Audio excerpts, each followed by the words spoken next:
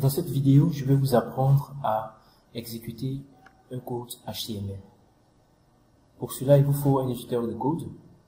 Il vous faut aussi euh, avoir un navigateur web. Quand je parle d'éditeur de code, ça peut être n'importe quoi.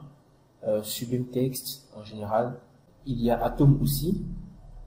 Il y a euh, maintenant comme un navigateur web, vous pouvez avoir euh, Mozilla Firefox, Google Chrome. dans mon cas, j'utilise Atom comme éditeur de code, c'est-à-dire euh, le logiciel avec lequel je vais taper mon code. Et euh, comme navigateur web, j'utilise Chrome. Voilà. Donc supposons que vous avez un fichier, euh, prenons le mien, il s'appelle ousbrun euh, HTML, .html, donc l'extension HTML. Ce qui veut dire que le code qui est à l'intérieur de ce fichier, comme vous pouvez le constater, c'est du HTML. Pour l'instant, ne vous occupez pas de savoir ce que c'est si vous ne comprenez pas euh, ce code. Ne vous inquiétez pas, vous allez le comprendre. Euh, ça, c'est sûr.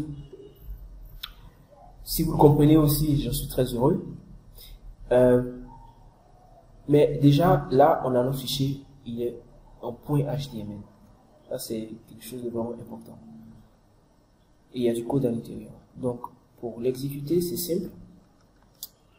C'est une technique, ce que je vais vous montrer, ça marche avec n'importe quel éditeur de code, n'importe quel navigateur web. Il vous faut repérer euh, l'endroit où est logé votre euh, fichier. D'accord? Donc, vous pouvez le constater en haut de mon éditeur, là, on voit le chemin de mon fichier. Donc, c'est dans mes documents, dans le dossier Workspace, dans le dossier Apprendre.html. D'accord? Et le fichier, bien sûr, s'appelle osborne.html. Donc, ce que je fais, j'ouvre mon explorateur de fichiers. D'accord Windows ou Mac, vous ouvrez votre explorateur de fichiers. Je me dirige donc vers l'endroit où se trouve mon fichier. Donc, mes documents. Mes documents, je cherche un Workspace. Workspace, je cherche euh, apprendre HTML.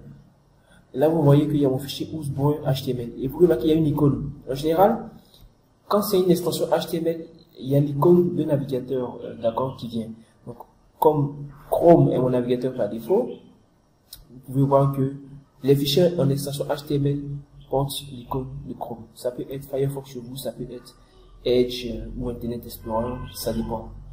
Tout ce que vous faites, c'est cliquer, vous double-cliquez sur le fichier. Double-cliquez, cliquez deux fois. Un, deux. Voilà. Et automatiquement, vous allez voir à quoi ressemble votre code HTML. Voilà, c'est simple, c'est pas compliqué, c'est une technique qui marche avec tous les éditeurs de code et avec tous les navigateurs.